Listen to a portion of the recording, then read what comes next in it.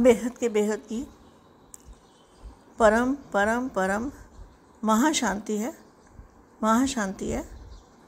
मैं बेहद के बच्चों को कुछ मैसेज देना चाहती हूँ। देखो बेटे, पापा जी ने बोला है अब एक ही पुरुषार्थ रह गया है, वो हाई जंप लगाने का। तो आप कहाँ खड़े हो? आप सागर के किनारे पे खड़े हो। इस ओर है स्थूल दुनिया, मिट्टी की दुनिया। और इस ओर है परम तत्व की दुनिया।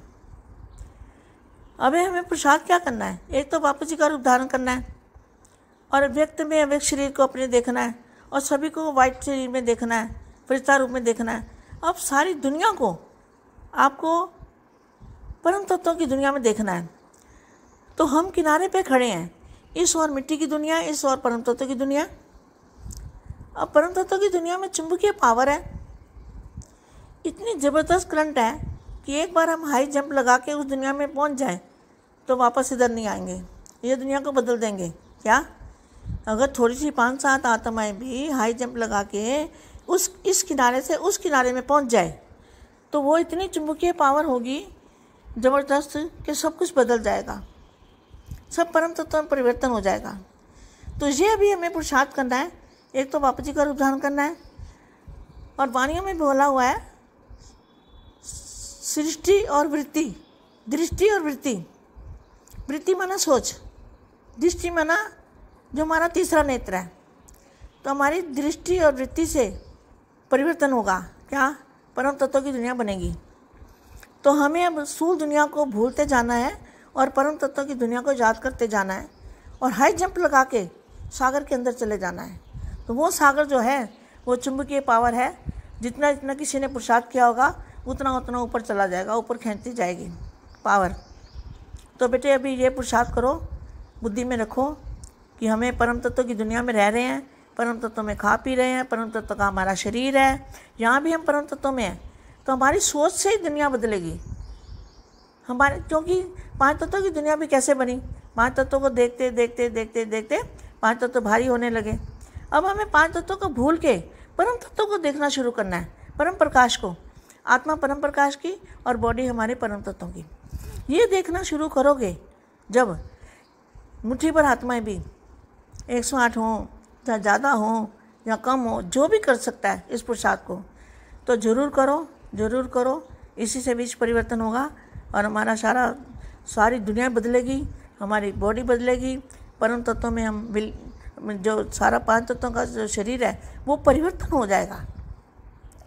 तो ये बेटे करके देखो, हैं? प्रसाद ऐसा करो कि बस दुनिया पूरी को, चाहे हमारा कोई अच्छा हो, बुरा हो, सभी को, सारी दुनिया को फरिश्ते रूप में देखना शुरू कर दो। ये मिट्टी के शरीर देखने बंद कर दो। तो देखो कितना अच्छा प्रसाद होगा। और रोज़ देखो आगे आगे बढ़ते जाओगे। मैंने वाणी भी अस्सी की पढ़ी है कि स्व परिवर्तन से धरती परिवर्तन हो जाएगी। तो धरती परिवर्तन का क्या मतलब है? धरती परम तत्व में हो जाएगी।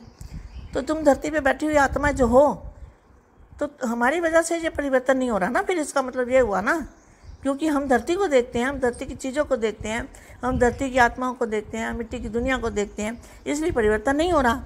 तो हमें अब देखना, हमारी दृष्टि को परिवर्तन करना है। पहले हमारी दृष्टि परिवर्तन होगी, उस दुनिया को देखेगी, उस दुनिया का अनुभव करेगी, और फिर धीरे धीरे ये परिवर्तन होकर सारी धरती परिवर्तन होके सभी आत्माओं का परिवर्तन भी हो जाएगा और मुक्ति जीवन मुक्ति भी हो जाएगी। तो हमें किसी के बारे में सोचना नहीं है, अब अपना प्रसाद खुद करना है। तो स्व परिवर्तन करना है अब। एक दूसरे का भाग्य किसी से नहीं मिलता। चाहे कोई माँ, बेटी, बहन, भाई, कोई भी बाप हो, कोई भी हो, किसी का भाग्य किसी से नहीं मिलता। इसलिए अपना अपना पुरुषार्थ तेज करना है तो साथ वालों का भी तेज हो जाएगा। मेरी बात समझे ना बेटे? तुम्हारी इतनी शक्ति बढ़ जाएगी कि तुम्हारे सामने जो भी आएगा, उनका भी परिवर्तन होगा। इसलिए ऐसा प्रसाद बेटे करो तो बहुत जल्दी शायद मेरा ये लगता है मुझे कि इसी से परिवर्तन होना शुरू हो जाएगा और बहुत अच्छा होगा, बहुत अच्छा होगा। आप जो चाहो कर सकते हो। आपके संकल्पों में बेहद के दादाजी की पावर है। बेहद के दादाजी से कनेक्शन जोड़ के रखना है। डिसकनेक्ट कभी नहीं होना है कनेक्शन जोड़ के रखना है और जी से पावर आएगा। और परिवर्तन की शक्ति बापू जी से आएगी। तो हम बापू जी के जहाँ बापू जी का मूल स्थान है तो हम वहाँ चले गए हैं। बात तो, तो सागर पार हो जाएगा। इस स्थूल दुनिया से सूक्ष्म दुनिया में परम तत्वों की परम तत्वों की परम प्रकाश की दुनिया में चले जाएँगे। परम परम शांति बेटा परम शांति।